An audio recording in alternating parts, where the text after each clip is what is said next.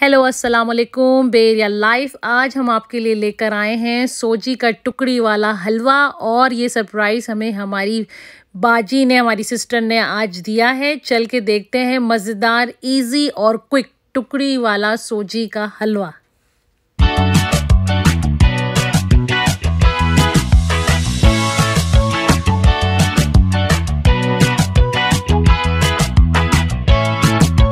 असलकुम आज हम बनाने जा रहे हैं सूजी का टुकड़ी वाला हलवा। जिसके लिए आपको ज़रूरत पड़ेगी सूजी की, जो कि हमने यहाँ पे आधा किलो ली है। और चीनी, ये भी हमने जितनी सूजी लेंगे उतनी ही चीनी लेंगे, यानी आधा किलो सूजी ली है हमने तो आधा ही किलो चीनी ली है। और मैदा इसका हाफ़ लेंगे यानी कि आधा किलो सूजी, आधा किलो चीनी और एक पाव मैदा। ठीक है? एक पाव मैदा और घी भी हमने एक पाव लेना है। और जर्दे का कुछ थोड़ा सा कलर लेंगे। और मेवे आपकी मर्ज़ी है, जो भी आप डालना चाहें वो डाल सकते हैं और चार अदद इलायची लेंगे। तो आइए, हम बताते हैं कि सूजी का हलवा कैसे बनता है टुकड़ी वाला। बसमीम सबसे पहले हमने कढ़ाई में जो एक पाव घी लिया था, उसे थोड़ा सा डालेंगे ठीक है? इतना ठीक है। आधा डाल देंगे भी और आधा हम जब मैदा ब्राउन करेंगे तब। अच्छा और ये सूजी हमने आधा किलो ली थी, ये सूजी डाल देंगे इसमें। इसको अब अच्छी तरीके से हमें भूनना है। फ्लेम आप बिल्कुल मीडियम पे रखिएगा, इसको अच्छे तरीके से हमें भूनना है। इसकी निशानी ये होती है कि इसमें सूंदी सूंदी सी खुशबू आ जाती है, और ये अभी जैसे हम इसको भूनना शुरू करें तो खुशबू आनी शुरू हो जाएगी, जब ये भून जाएगी और उसके बाद ये हल्की हल्की सी ब्राउन हो जाएगी डार्क ब्राउन हल्की ब्राउन जैसी हल्की ब्राउन होगी, फिर हम इसे उस पॉइंट पे निकाल लेंगे। ठीक है?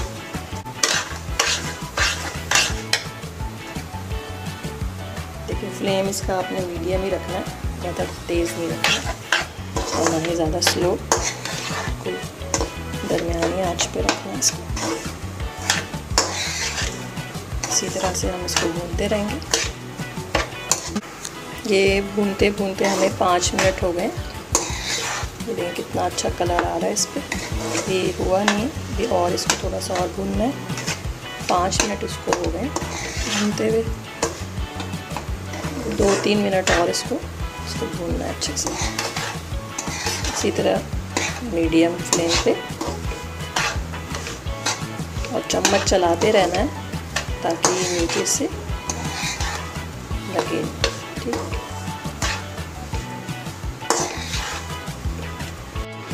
ये देखें, हमें पाँच मिनट और हो गए, यानी कि टोटल हमने दस मिनट लगे हैं इसको भूनने में।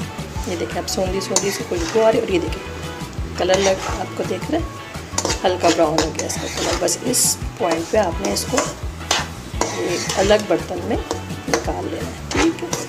देखें ये देखें हल्की हल्की ब्राउन हो गई। अब हमें इसे अलग से बर्तन में निकालना है। ब्राउन जो की सूजी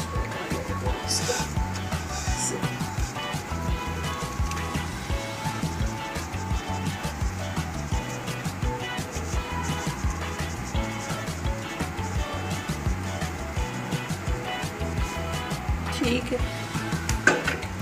ये हमने सूजी निकाल ली, अलग उसमें। अब वही जो घी हमने लिया था, पाव में से थोड़ा सूजी में डाला था। अब हम मैदा ब्राउन करेंगे तो उसमें थोड़ा सा डाल। थोड़ा सा बचा लेना अभी और डालेंगे इसमें। ये हमने ये डाल दिया। अब इसमें जो हम, मैंने आपको बताया था, एक पाव मैदा। एक पाव मैदा इसको भी इसी तरह से हमें ब्राउन कर लेना है। ये इसी तरह हमने, जैसे सूजी को ब्राउन किया था ना, मीडियम फ्लेम पे, इसी तरह हमने मैदे को भी ब्राउन कर लेना है, हल्का ब्राउन मीडियम फ्लेम पे। सूजी में 10 मिनट लगे थे, इसमें 10 मिनट नहीं लगेंगे 5 मिनट में भून जाएगा। इसे सब आपको हिलाते रहना है। ये मैदा है, जल्दी भून जाता है। इसको हिलाते रहना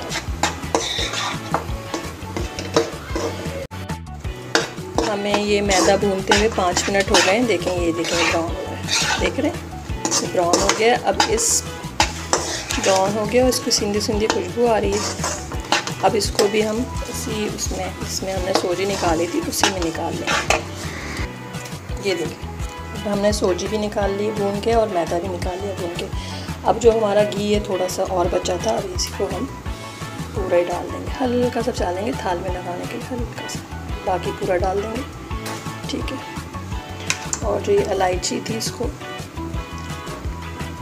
कूट के। ये हमने इलायची कूट ली, लेकिन इसके छिलके निकाल देंगे, क्योंकि ये बच्चों को पसंद नहीं होते अक्सर। इसमें से छिलके निकाल लेंगे। बाकी जो कूटी हुई इलायची, वो घी में डाल देंगे, ठीक है?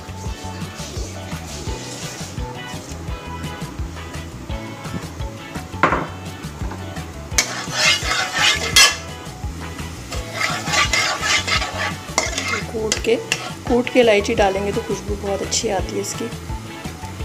इस पर एक कप हमने दूध लिया है। ठीक है इसको डाल देंगे।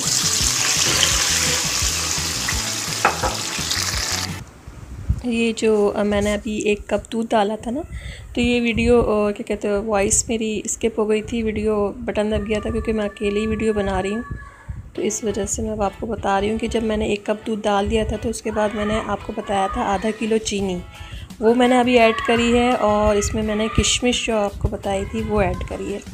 ठीक है, एक कप दूध डालने के बाद आपने आधा किलो चीनी डालनी है और किशमिश जो थी वो डाल देनी क्योंकि किशमिश थोड़ी सी पक के अच्छी से हो जाती है। अच्छा जिसको ये हो कि कलर चाहिए तो वो फिर एक चुटकी कलर भी ऐड कर सकता है इसमें जर्दे का रंग। और अगर आपको नहीं पसंद है तो आप इसको स्किप भी कर सकते हैं। और अगर आपको पसंद है तो आप इसमें डालें। बहुत अच्छा लगता है, मुझे बहुत अच्छा लगता है, इसलिए मैंने इसको ऐड किया है। ये ऑप्शनल है। अब इसको हम पाँच मिनट तक बॉयल होना देंगे।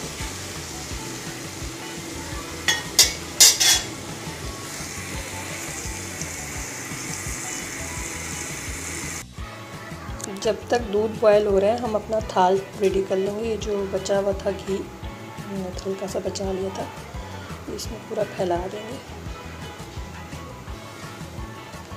इसको अच्छे से चम्मच की मदद से पूरे थाल में फैला लीजिएगा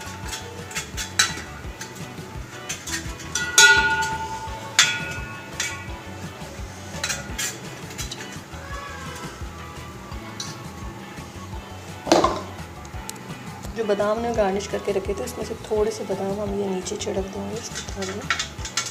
और कुछ बादाम हम जब हलवा बिछाएँगे उसके ऊपर डाल देंगे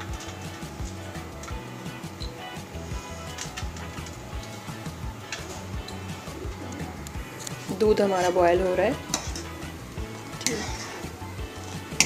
थाल भी हमने सजा लिया ताकि जैसे ही हलवा रेडी हो, हम थाल में बिछा लें उसको। अब इसको होने देना है कि पाँच मिनट नहीं हुए अच्छे से इसको बॉयल होने दें। तार वार नहीं बनानी है इसकी, बस ये कि अच्छे से इसको बॉयल कर लेना है, ताकि सूजी इसमें अच्छे से पक जाए। ये देखो। पाँच मिनट तक इसको बॉईल करना है। ये पाँच मिनट हो गए हैं इसको पकते पकते। अब इस वक्त हम इसमें जो सूजी हमने भूनी थी और जो मैदा भून के रखा था, वो डालेंगे। ये सूजी।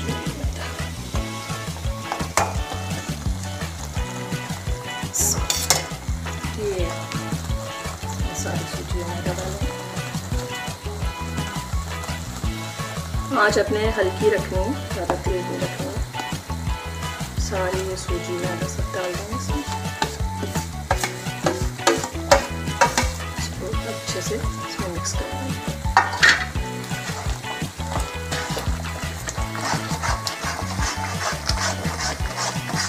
मीडियम फ्लेम पे करना है इसे।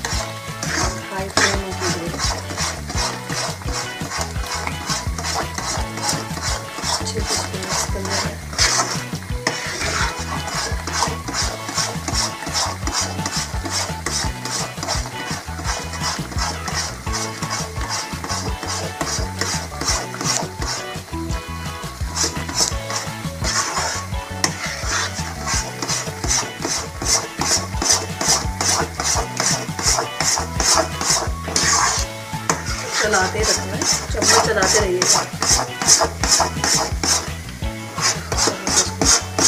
जब ये बिल्कुल कढ़ाई छोड़ देगा, तब हम इसको उतार लेंगे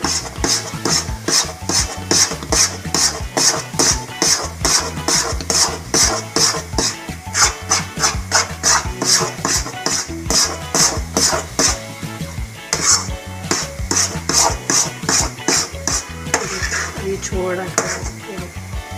ये मतलब मैंने कढ़ाई छोड़नी शुरू कर दी है, ठीक है? थोड़ा सा एक मिनट और हम इसको अच्छे से भून लेंगे, ताकि ये अच्छा सा इसमें खीरा मिक्स हो जाए।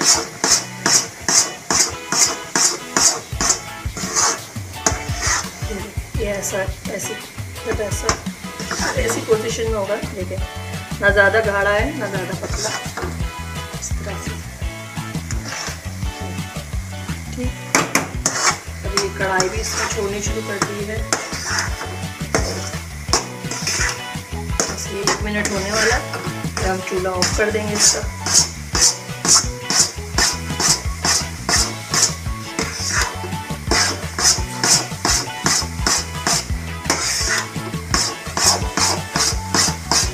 हमने चूल्हा इसका ऑफ़ कर देना है।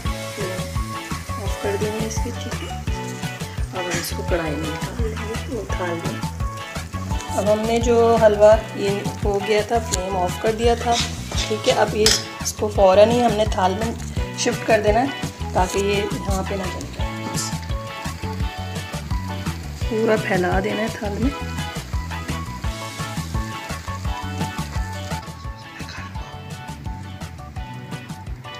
ये अच्छे से निकाल लें इसको अच्छे से फैला दें। इसको सेट होने में कम से कम 10 मिनट लगेंगे। इस पॉइंट पे आपने जो ये बादाम गार्निश काट के रखे हुए थे, इसको गार्निश कर दें।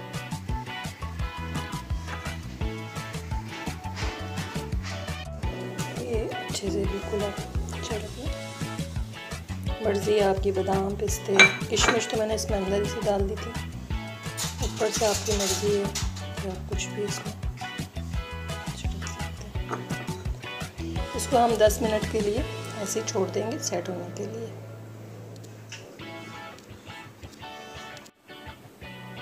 ये 10 मिनट हो गए हैं, अब हम इसको कट कर लेंगे। थोड़ा सा सेट हो गया ये। 10 मिनट के बाद जिस तरह से भी आप इसकी शेप देना चाहें आपकी मर्ज़ी है।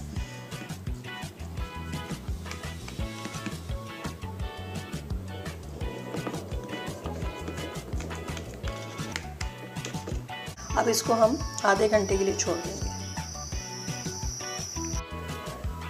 आधा घंटा हो गया है। अब इसको हम निकाल लेंगे। दोबारा से इस पर कट लगाएँगे। देखें हमारे बच्चों से बर्दाश्त नहीं है। तो इन्होंने थोड़ा सा खा लिया इस तरह से कट लगाते जाएँगे और एक एक टुकड़ी निकालते टुकड़ियाँ मैंने निकाल ली हैं। अच्छा अब मैं आपको बताती हूँ कितनी सॉफ्ट है, टुकड़ी भी है और सॉफ्ट भी है। सख्त नहीं है कि खाने में आपको मुश्किल हो। घर में बुज़ुर्ग होते हैं, बच्चे होते हैं, वो बहुत शौक से खाते हैं। तो उस हिसाब से बिल्कुल टुकड़ी भी पड़नी चाहिए और सॉफ्ट भी होना चाहिए। ये देखें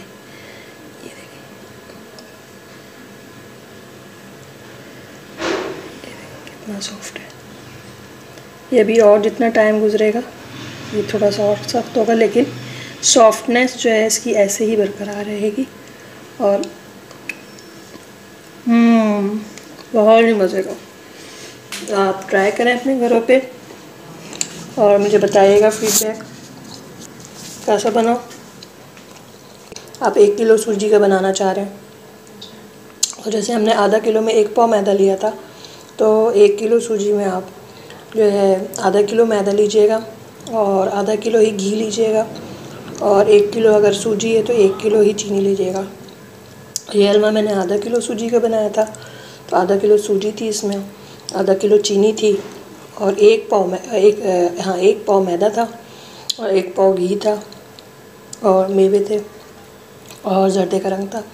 जर्दे का रंग भी आप स्किप कर सकते हैं अगर आपको वाइट कलर का सूजी का हलवा अच्छा लगता है तो आप कलर मत डालिएगा तो इसको वैसे ही रहने दीजिएगा एज़ इट इज़ इंजॉय करें घर वालों को खिलाएँ लाइक करें शेयर करें। इन अगली वीडियो में मुलाकात होगी। अल्लाह हाफ़